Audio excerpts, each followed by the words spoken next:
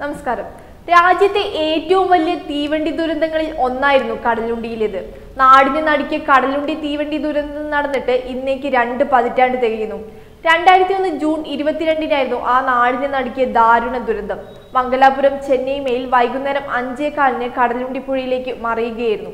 അമ്പത്തിരണ്ട് പേർ തൽക്ഷണം മരണപ്പെടുകയും നൂറുകണക്കിന് യാത്രക്കാർക്ക് മാരകമായ പരിക്കേൽക്കുകയും ചെയ്തു. ദുരന്തത്തെ തുടർന്ന് റെയിൽ ഗതാഗതം മാസങ്ങളോളം നിലയ്ക്കുകയും ചെയ്തു.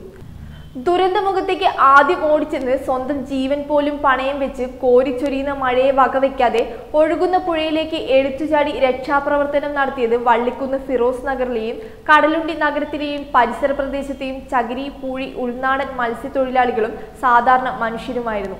അവരുടെ എല്ലാം മറന്നുള്ള പ്രവർത്തനങ്ങളുടെ ഫലമായാണ് ദുരന്തത്തിന്റെ ആഴം കുറയ്ക്കാനും മരണസംഖ്യ കുറയ്ക്കാനും സാധിച്ചത്.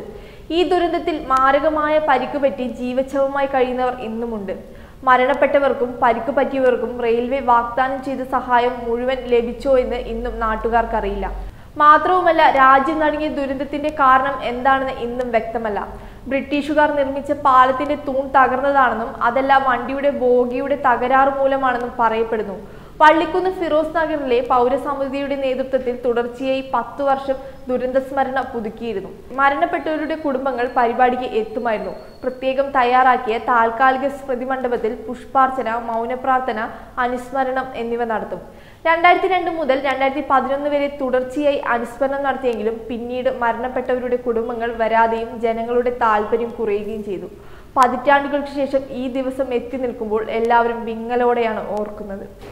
Thank you.